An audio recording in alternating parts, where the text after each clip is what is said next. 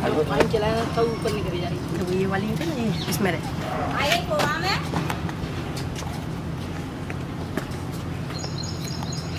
ये ये पे निकलते चल चल नीचे चल। आई तो दोस्तों आप देख सकते हो यहाँ पर मैं एक बार फिर से अपना परम कर्तव्य निभाने और जीव जंतुओं का जीवन बचाने के लिए आ चुका हूँ अपने ऑफ़िस से लगभग तीन किलोमीटर की दूरी पर। और इसके अंदर एक मॉनिटर लेजर्ड है। पास में आ जाओ मैं दिखाता हूँ यहाँ से दिख रही है। मैं कोशिश करता हूँ आपकी नज़र उस पर पड़ पाए लेकिन मुश्किल है थोड़ा क्योंकि तो एक ही है लाइट अंदर तक नहीं जा पा रही है। ईंटों का बहुत बड़ा ये यहाँ रखा हुआ है बहुत सारी ईंटें हैं।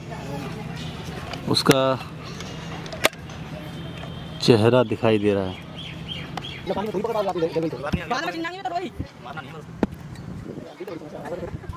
क्या करें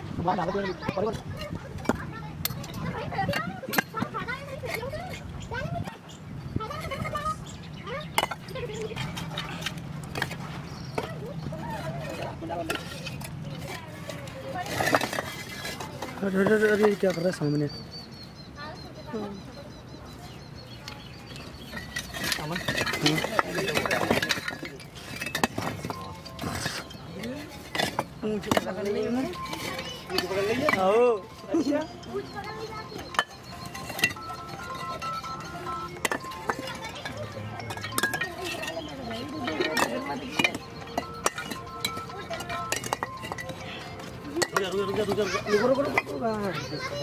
भाई लो भाई दूसरा वाला ले लो दूसरा वाला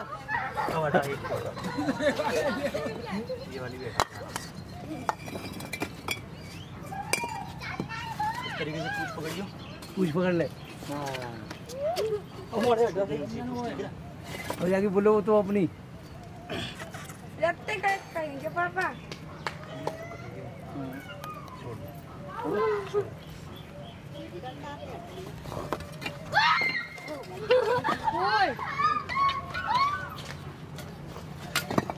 बुला ले जो देख ले जरी तो हैं बड़ी ही मासूम और बहुत प्यारा जीव है ये।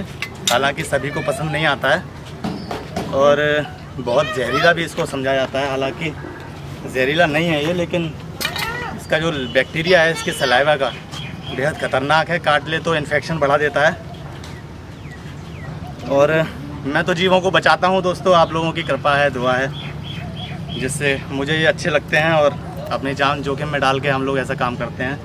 बाकी सभी लोग नहीं समझते हैं इस बात को, इसलिए इन लोगों को मार दिया करते हैं। आपसे अनुरोध है, किसी भी जीव जंतु को मारे नहीं और सभी का संरक्षण करें। इस दुनिया में सभी को जीने का बराबर अधिकार है। किसी को मारने का या किसी को चोट पहुँचाने का किसी को अधिकार नहीं है। तो देखिए आप, मैंने इसको बहुत ही आसानी से और बहुत ही शांत स्वभाव का ये अभी दिखाई दे रहा है, लेकिन होता थोड़ा एग्रेसिव है। भागने में बहुत ही तेज़ होता है।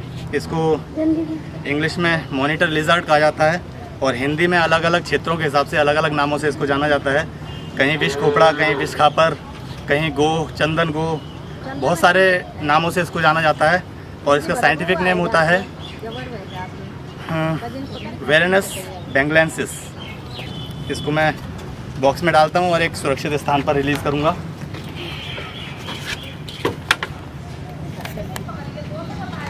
इस वीडियो को देखकर आप इस तरह की गलती ना करें किसी को भी जीप को पकड़ने की गलती ना करें।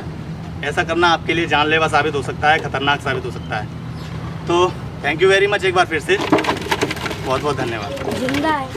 और वह ज़िंदा नहीं है वो हमारी है दोस्तों मैं आ चुका हूँ इस मॉनिटर लिजर्ड को। आज मैंने रेस्क्यू किया था और मैं तुरंत लेके आया हूँ इसको जंगल में छोड़ने के लिए। आप देख सकते हैं कि इसको मैं इसके प्राकृतिक आवास में रिलीज़ कर रहा हूँ। ध्यान से देखिएगा, क्योंकि ये बहुत तेज़ भागता है। एक पास से थोड़ा आप देख सकते हैं ये काफ़ी बड़ा बॉक्स है और ऑक्सीजन के लिए इसमें होल भी किए गए थे। तो मैं इसको बाहर निकालता हूँ, ये अपने प्राकृतिक आवास में चली जाएगी, देखिए आप।